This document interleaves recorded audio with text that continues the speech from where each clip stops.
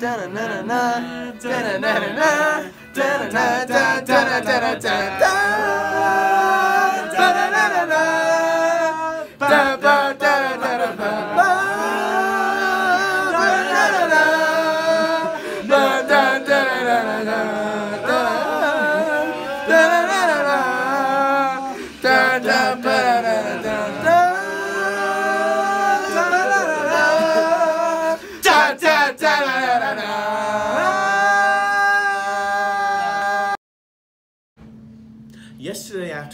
Lewis faced Monroe in sand volleyball. Kanawha faced Randolph in court volleyball, and Marion took on Upshur and Harrison in frisbee. Braxton faced Panhandle in softball, Webster and Barbour, and Gilmer and Calhoun faced off in basketball. Today, Webster and Barbour faced Panhandle in sand volleyball. Randolph faced Lewis in court volleyball. Monroe took on Braxton in frisbee, and Upshur and Harrison and Gilmer and Calhoun faced in softball. Kanawha faced Marion? In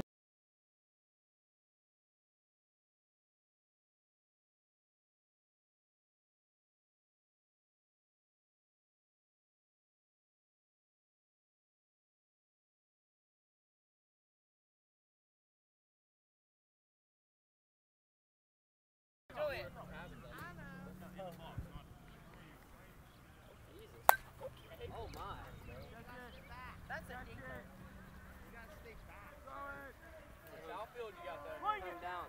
Oh, good toss. Go, go, go,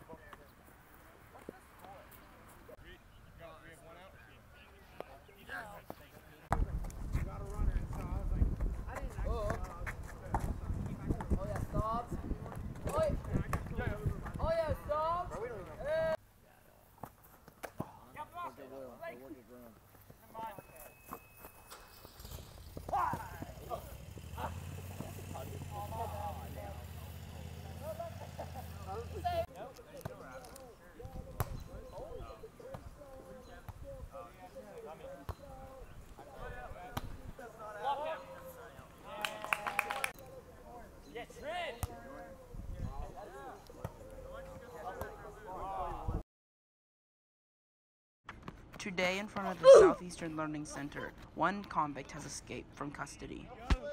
Inmate Jomo Smith escaped by hopping the fence. Uh, I'm Nico Viscardo. I'm the warden here at the Boys State Corrections Facility. As you can see behind me, due to the construction, there was a breach in the fence, and that's how the inmate escaped. And we are cur- we've currently fixed the problem, but Boys State Corrections always gets their man. I don't care how many holes are in our fence. I don't care how many people are not doing what they're supposed to do. When it comes down to crunch time, oh, we get them. We get the job done. I then sat down with him for a one on one interview. Uh, so why did you escape corrections? because it's boring in here. There's nothing to do. It's whack. All these ugly officers just keep staring at me. Do you, are, are conditions here are they good conditions or poor conditions? No, they're not. They're not good conditions in here. We don't even have a, a toilet. And especially in there, it's, it's hell in here. It's hell. Uh, have you learned from the crime you've committed? No. Not at all. Uh, I'll if do it it- again. Is it too much if I ask you what crime did you commit? Um, I assaulted a cat. Um, what's your sentence? 15 minutes. Oh, brother. well, I'm sorry, brother. Well, thank you for the interview. It's very nice to meet No you. problem. Jomo has finished his sentence and is Um, now walking as a free man. You're a free man, Jomo. Yes, I am. Free man. Feels a free man. Oh, well, I mean, I've only been a free man for five minutes. But, you know, plan on doing something good with my life. Hopefully. Might assault a dog next time. Oh yeah.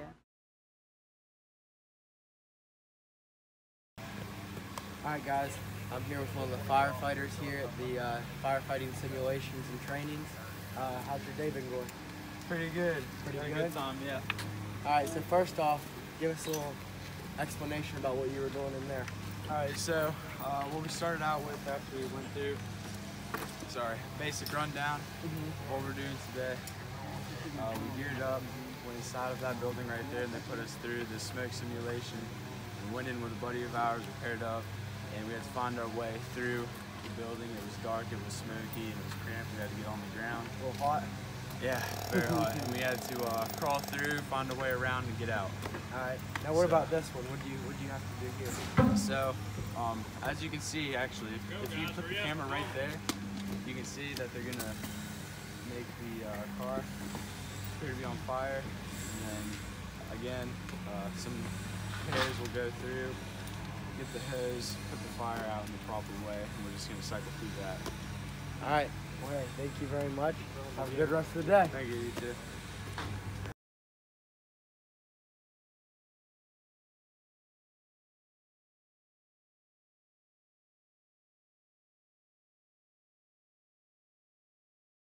Hey guys, I'm on scene at this protest in front of the Mountaineer Boys State Bank.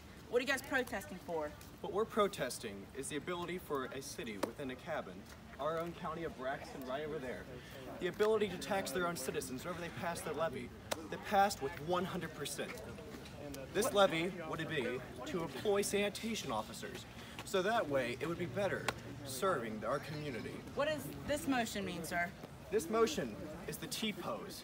This T-pose is meant to strike out against the bank, which is attempting to destroy our own sovereignty within our city and cabin.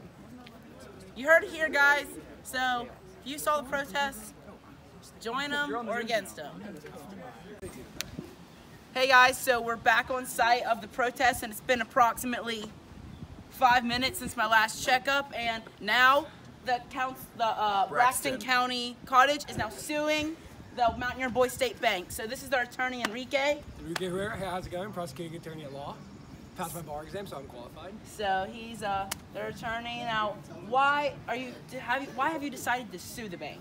So I have not decided to sue the bank, but I've decided to actually represent Braxton County. Braxton County feels that they have been unconstitutionally um, misrepresented, especially from this bank. Not just the bank, but possibly even the government itself. So I feel that justice needs to be served, and uh, we plan on we plan on serving justice. Okay, guys. So we'll catch up. We're gonna go catch up with the bank, and we'll see you in a minute. Hey guys, so we're here with uh, Matthew, who's uh, a part of the West Virginia Boys State Bank, and we're getting their side of the story. So, what do you have to say about this, Matthew? Well, um, so they want to get their cabin clean, and uh, I think that the amount of work that they're putting into the protests, uh, half of that will clean up the cabin. So that's that's my opinion on things.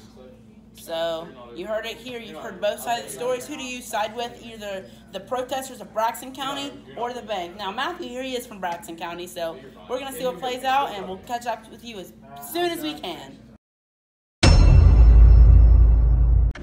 SoundCloud rapper Bonefish's trial was today, held at the West Virginia building. The Prosecution claimed that Bonefish left campaign materials up past the deadline to take them down.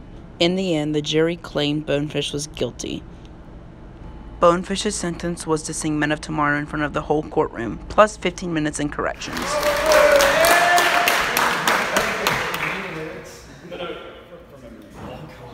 Oh, we're the men of tomorrow. We march along with happy ranks today. We I then got to talk to Bonefish on his way to corrections. Feel about the jury's decision? I feel that the jury's decision is not correct. Uh, I don't think they took into account that the sign was indeed red. And as you may know, at headquarters, the, very, the ladies are very strict about what color of paper you can buy. I was denied red paper and given white and blue paper. How do you feel about how do you feel about the protesters outside the courtroom?